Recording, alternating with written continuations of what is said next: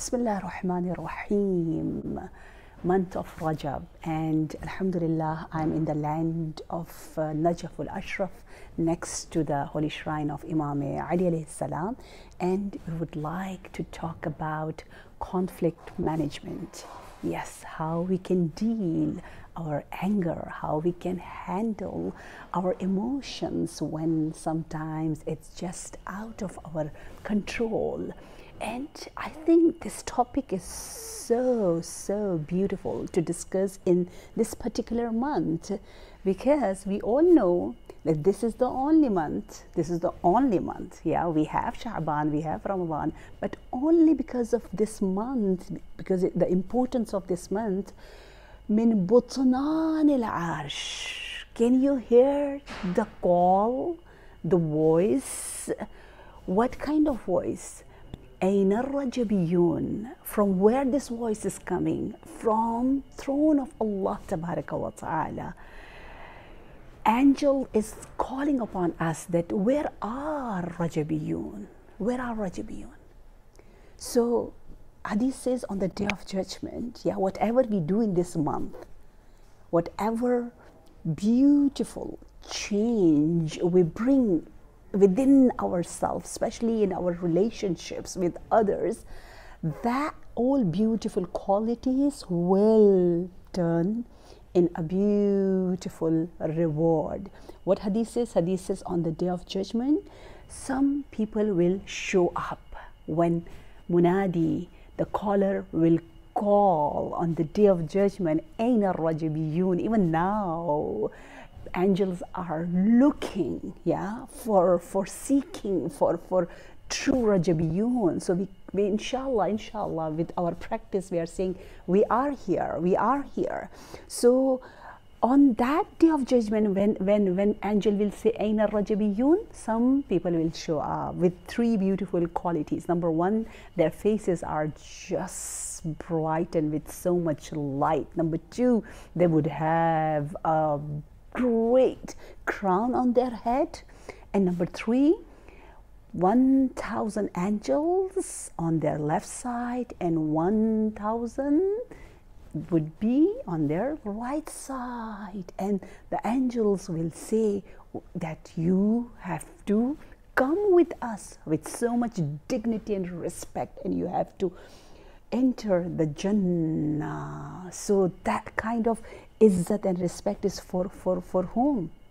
Then Allah wa ta'ala would say, because you have respected my month, because Rajab is the month of Allah, because I have given so much status to this month and you have respected this month with your deeds and amal, so I'm rewarding you. So, what kind of respect? One of the way of respect to show, yeah, to, to uh, we can say we, we can uh, expose it very easily is fasting. Literally, this hadith says that because you have fast in this month, and do you know, fasting can truly manage your anger. Because fasting means what? Fasting means you are just controlling your desires yeah? You are you are just telling that yeah my willpower is so strong. I have that breaks in my day-to-day life. And look at the beautiful hadith of imam baqir the way he says la quwwata karaddil ghadab there is no any power like the power of controlling and managing your anger you know that that makes you so much powerful and somehow you feel that freedom that Allah ta'ala has given to you. So inshallah in this month of Rajab, literally number one, we are going to fast to to to to what? To inshallah manage our anger. Yeah. I remember Ayatollah Mar'ashi he would say, uh, in my youth age, I used to fast Rajab, Sha'ban, and Ramadan three months in sequence. But now I'm old enough. I wish, I wish, I wish I could fast in this month. So, inshallah, we are going to fast, number one. And and, and number two, the best amal in, in this holy month of Rajab is seeking forgiveness. And even seeking forgiveness leads us towards anger management, yeah, conflict management. Why? Because istighfar truly means that you are just focusing about your mistakes and weak areas of your life. You're just saying, yeah, here, yeah, this is the time, this is the moment, this is the situation where I sometimes lose my temper so now I have to work on these areas of my life. These are my difficult zones. So when you're working on those areas and you're seeking forgiveness, you're just asking Allah to, to empower you and to strengthen you to come over your anger. So then that is the true meaning of astaghfirullah rabbi wa astaghfirullah rabbi wa And uh, therefore it says that, uh, for example, um, uh, because I'm a very talkative person, I'm giving just an example. So I have to work on my tongue. Yeah, I'm I'm, I'm very like um, I love to eat foods. Yeah, that is my my my uh, weak area, and therefore maybe I couldn't get up for namaz isha because of heavy eating before going to bed, or I I, I I'm just very weak about uh, uh, fasting, uh, uh, especially a recommended fast, mustahab fast. So so I can work on those areas in my life inshallah so so I, I would love to give you a beautiful example of imam muhammad baqir salam because we have started this month with with beautiful gift of Imam Muhammad Baqir al-Ulum salam. So the, the hadith and, and the beautiful um, uh, story tells very nicely to us that how we can control our anger too.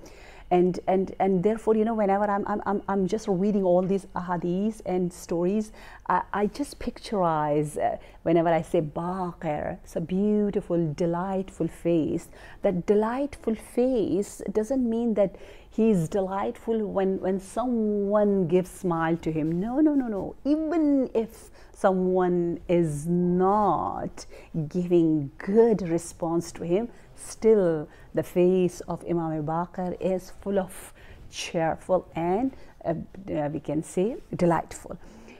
So the story says that once a Christian man came uh, to visit Imam with this intention that I'm going to insult him and I want to make him angry.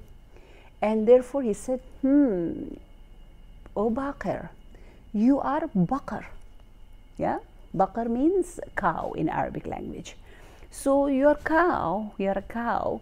So Imam, Imam was feeling like somehow sorry for him. Imam smiled and Imam said with so much, so much love and and gentle, gently he replied that, but uh, I'm a Baqir.